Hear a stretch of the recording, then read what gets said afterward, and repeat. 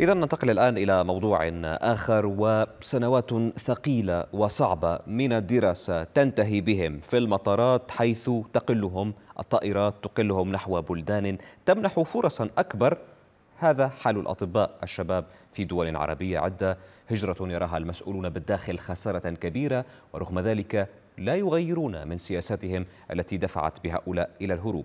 ويحتل لبنان المركز الخامس من حيث الدول التي تصدر العدد الأكبر من الأطباء المتخرجين حديثا خاصة إلى الولايات المتحدة. عدد كبير منهم لا يلتحق بالبرامج الطبية التي تقدمها المستشفيات الجامعية في لبنان ويفضل البحث عن فرص عمل في مجال الأبحاث والبرامج الطبية في البلدان الأوروبية. أما في سوريا فالأمر تحول إلى معاناة يعيشها القطاع الطبي بالداخل في ظل هروب الكوادر الطبية نحو والخارج العديد من الاختصاصات الحيوية وخاصة في مجال التخدير أصبحت تعاني من شح كبير في الكوادر. آه، وهو ما يهدد قطاع الرعاية الصحية في البلاد. الوضع في تونس يبدو أكثر سوداوية فالمسألة تجاوزت نزيف الأطباء ونزوحهم نحو الخارج لتصل إلى ارتفاع حالة الإرهاق النفسي والاكتئاب في صفوفهم في ظل ظروف العمل الصعبة والرواتب المتدنية وساعات العمل الطويلة. هذه الأوضاع دفعت بنحو 900 طبيب إلى الهروب نحو بلدان أوروبية خلال العام الماضي فقط. في المغرب الأمور ليست أفضل حالا. وزير التعليم العالي كشف أن أطباء أو عدد الأطباء الذين يتخرجون سنويا يصل إلى 1400 طبيب نصفهم يهاجر نحو أوروبا بعد سبع سنوات من التحصيل العلمي. يعين الطبيب الشاب في مناطق بعيدة تفتقر إلى الحد الأدنى لشروط الحياة والعمل المهني. وبأجر شهري لا يتجاوز 840 دولارا وهي ظروف تجعل خيار الهجرة أكثر إغراء للنقاش الآن حول هذا الموضوع. نرحب مباشرة من بيروت. نرحب بالبروفيسور شرف أبو شرف نقيب الأطباء اللبنانيين سابقا. أهلا بك معنا في المشهد الليلة. أولا هل الوضع الاقتصادي فقط هو ما يدفع هؤلاء الأطباء الشبان إلى الهجرة نحو دول أخرى؟ نتحدث هنا سواء عن لبنان أو باقي الدول العربية. هو السبب الرئيسي كمان بنقول لك مساء الخير أهلا وسهلا. الوضع الاقتصادي المالي المتأزم آه، والمشاكل المتراكمة يلي عانى منها لبنان بالسنوات الأخيرة سياسيا صحيا مع الكورونا انفجار مرفأ بيروت تدني سعر صرف الليرة. كل هالأمور خلت قسم كبير من الأطباء اللي قادر آه، يشتغل برات لبنان إما بالدول الخليجية وإما بالدول الغربية عم بيهاجر نعم. هلأ عندنا شغلة مهمة كثير بالبداية. نحن حوالي 15000 طبيب في لبنان. ما يعني عندنا طبيب لكل 300 مواطن اللي هي نسبة عالية جدا. مقارنة بالغرب مثلا طبيب لكل 1000 مواطن. هالشيء هيدا خلى لبنان رغم هجرة ما لا يقول عن 3500 طبيب لحد هلأ يضل واقف على اجريه من الناحية الصحية.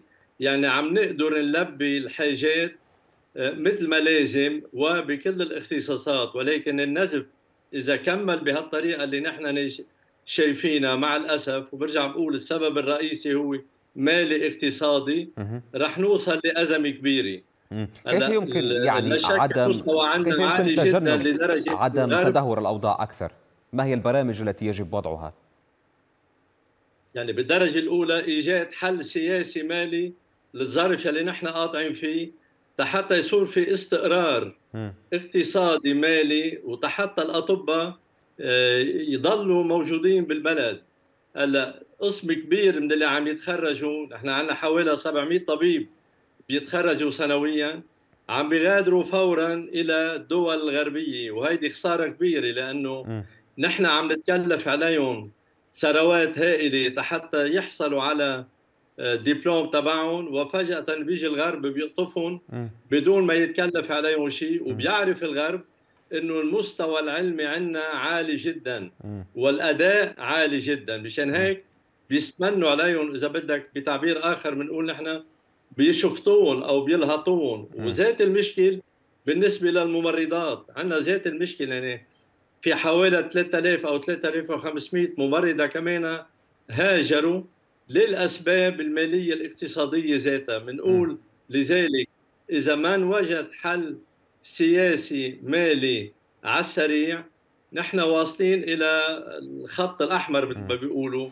وبصور الوضع فيما يتعلق بعلاج المرضى أصعب وأصعب. هناك من اقترح نعم. لأنه العدد كافي ولكن النزف إذا كمل مصفي بحاله خطرة نعم. هناك من اقترح أن يتم اللجوء إلى آه، استخدام أطباء من دول أكثر فقرا يعني من دول فقيرة في العالم يعني هل تعتبر أن هذا يمكن أن يكون حلا في دول مثل لبنان اعتقادي هذا مش حل. اولا في قوانين بلبنان ترعى هذا الأمر. آه، بده يمر بكولوكيوم بوزارة التربية ثم بوزارة الصحة وبده ياخذ إذن مزاولة المهنه من نقابه الأطباء وهو أمر صعب جدا. ليه؟ لأنه نحن من باب المحافظة على المستوى العالي عندنا والأداء العالي. عم تجعل اللي عم يجوا من غير دول من الصعوبة بمكان إنه يقدروا يتخطوا كل هالشروط هيدي.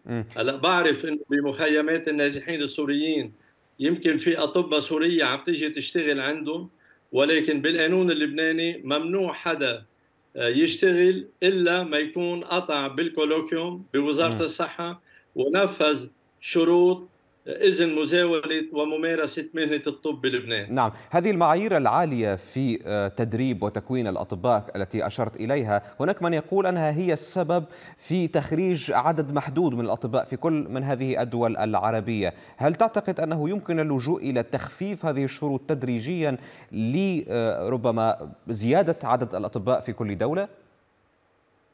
نحن بالنسبة لنا بلبنان مش عم آه، نشتغل تنخفف الشروط عم نشتغل تنزيد الشروط وأصدرنا بمجلس النواب قانون إذن مزاولة مهنة الطب للحد من العدد لتوحيد المفاهيم بين الجامعات وللحفاظ على مستوى عالي.